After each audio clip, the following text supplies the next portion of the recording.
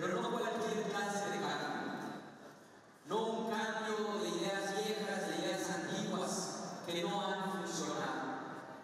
Podemos tener algunas coincidencias en el diagnóstico con lo que plantea López Obrador. El problema es que las soluciones que él plantea son las soluciones equivocadas y que no traerían más problemas a nuestro país emitiendo en el que dejó claro que la transformación de México que propone Andrés Manuel López Obrador es un error por estar basado en ideas antiguas y que no han funcionado. El precandidato de la coalición por México al frente, Ricardo Anaya Cortés, se dirigió a los militantes de los partidos Acción Nacional, PRD y Movimiento Ciudadano en su visita de precampaña en Campeche.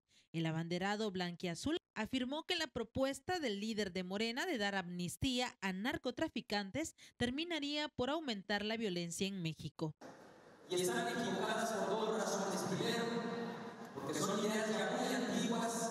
Y segundo, porque son ideas que no han funcionado. Porque cuando se perdona a los criminales, cuando se pacta con los narcotraficantes, recuperan su fuerza, recuperan su poder y termina aumentando la violencia en el país. Ricardo Anaya Cortés dijo que de llegar a la presidencia de la República combatirá la corrupción que los seguidores de Andrés Manuel López Obrador han fomentado, haciendo un resumen de los allegados del creador del partido Morena que han incurrido en ilícitos. Acuérdense de sus colaboradores más cercanos, de su círculo más íntimo. Ahí están los videos de René recibiendo pagos de billetes en efectivo. ¿Se acuerdan aquel video donde las ligas quiso dejar?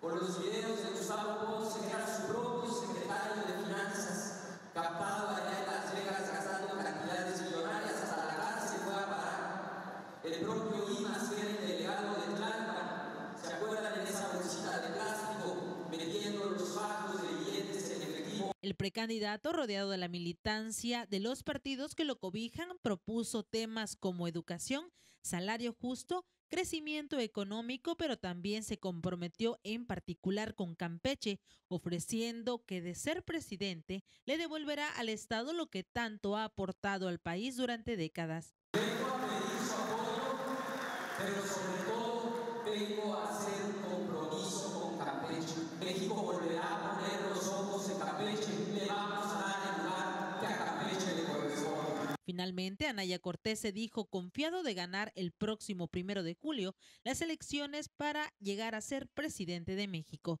Yo no tengo duda, y ustedes tampoco deben tenerla. El primero